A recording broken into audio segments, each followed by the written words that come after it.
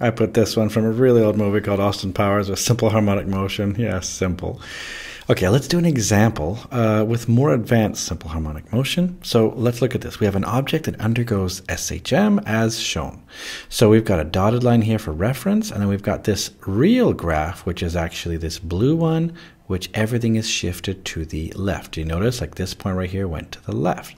This one over here went to the left, and so on. So the first question though is, what's the maximum displacement? Well, what can we tell from this graph right here? We can tell the amplitude. You see that this distance from the center right here to the top? That right there we're going to call the amplitude. And what is the amplitude? Well, in this case right here, let's see, the amplitude is just going to be 4, right? Because it's from 0 to here, this is 4. So it's going to be 4, and what are the units? It's meters. Well, what does this tell us? Well, this is helpful because the maximum displacement is the amplitude. We call it actually x0. That's even better. x0 is equal to 4. So there we go. We've got our first one already done, part A. That was easy. Okay, so let's look at part B, where we want to know what's the angular frequency. What are we really looking for?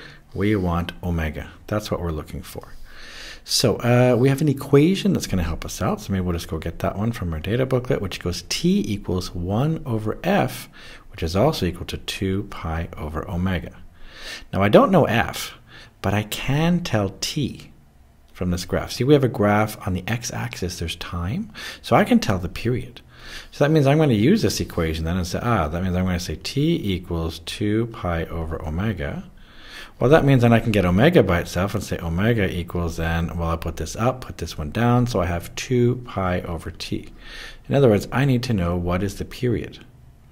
And I can tell the period from this one. I mean, the blue one's a little bit hard to tell, but the black dotted line one, that's also the same period. Because see, this black dotted line one, the period of that one is the same as the blue one because every point on this graph has been moved to the left by the same amount. If that's the case, then the period of this one here, which is four seconds, you notice that's the time to do one whole cycle, uh, that'll be the same as this one over here, this blue one. So I can say then that t equals four seconds. I'll maybe put that down here. Okay, what does that mean? Well, that means then I can just put everything together finally. I can say that means omega then is just going to be equal to 2 pi over 4.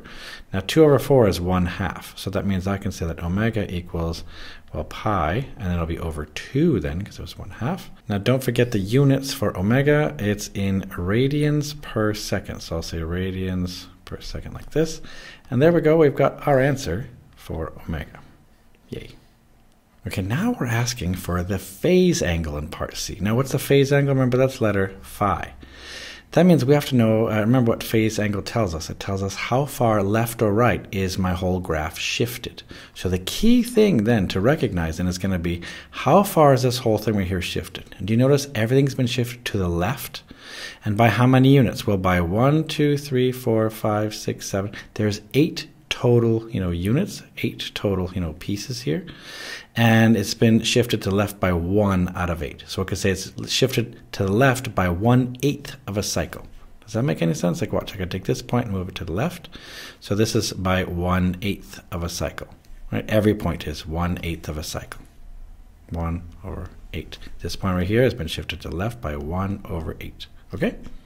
Now it's important to remember what is a whole cycle. A whole cycle is 2 pi, isn't it? So a whole cycle of 2 pi shifted to left by 1 over 8 is going to be 2 pi over 8. Well, what's 2 pi divided by 8? Well, 2 over 8 is 1 over 4, so it's going to be pi over 4. Therefore, that's my answer. My phase angle then is just going to be pi over 4. And what are the units we use for this? We use radians. That was a little bit weird, right? But that's how we figure out from a fraction of a cycle to radians. There we go. Now finally, we're asking for what is the velocity at t equals 0.5 seconds. Now that might seem a little bit impossible. I thought actually there was two ways of doing it. So the first way is sort of the, the quicker way, which I could just say, maybe I'll just say quickly here. Uh, well, what do I say here? Well, at t equals 0.5 seconds, that means it's right here, right? So that means right here, we're looking at this point right exactly here. This point right here. Well, what do we know? We know that at this point right here, what can we say? We can say that at that point we have x equals, well, isn't it the maximum displacement? So it's x0. And if you think about something going left and right and left and right, like we've been looking at before, let's say it was like uh, some spring, for example, uh, something like this right here. If you're at maximum displacement, where are you? Well, uh, this right here, this is x equals 0. But if you're way over here, that's at x equals x0. And if you think about this, if we are at x equals x0, that means we're over here. That means the velocity must be 0 because it stops technically here. So that was sort of the quicker way to say, uh, well, at that point, then we have v equals 0. So that was one way to do it. And that was, I think, the quicker way. But if you want to do it the slower way with the equation, we can do that too. So we have an equation for the speed. It goes v equals omega x0 times cosine of omega t plus phi. This is just from your data booklet. Now we're going to have to know each of the variables, so let's go back and uh, look. So we got omega, for example. What was that? That was equal to pi over 2. Okay, what else did we have? Did we have x0? Well, we sure did. x0 was equal to 4. And now we know that phi is equal to uh, pi over 4. Oh, actually, we also need one more thing. We need to know t. And t is actually going to be, well, uh, 0.5, but I'm going to say it's 1 half just to make it a little bit easier to look at. So watch very carefully then. I'm just going to slowly fill it in. So that means v equals, what's omega? Omega is pi over 2. Okay, so I'll say pi over 2. Then I multiply that by x0. x0 is 4. All right, I have a 4 there. Times the cosine of, let's see, what's omega again? Oh yeah, it's pi over 2, so I'll put that down. Uh, times t, t is 1 half, so I'll multiply that by 1 half. I'll do it like this here, plus phi, and phi was pi over 4. Okay, so although it looks a little bit gross, let's keep going and not panic here. So what's uh, 4 times pi over 2? Well, I'll just write it down at least. It's 4 pi over 2. We'll do some more steps, don't worry.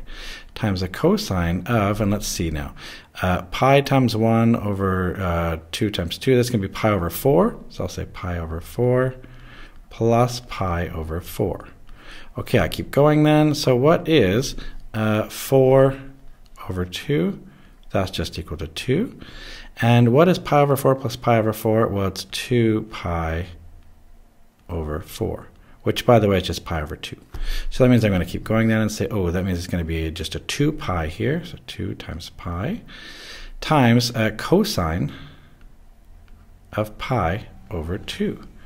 Okay, well then we need to know what is cosine of pi over 2, and it turns out cosine of pi over 2 depends now, uh, if you want to just use your calculator you can, cosine of pi over 2 will be 0, or uh, depending on which math class you take, you might know about radians, it turns out pi over 2 is 90 degrees, if you think about a unit circle, you go to the right, uh, start to the right, I mean you go to, you go around by 90 degrees right here like this.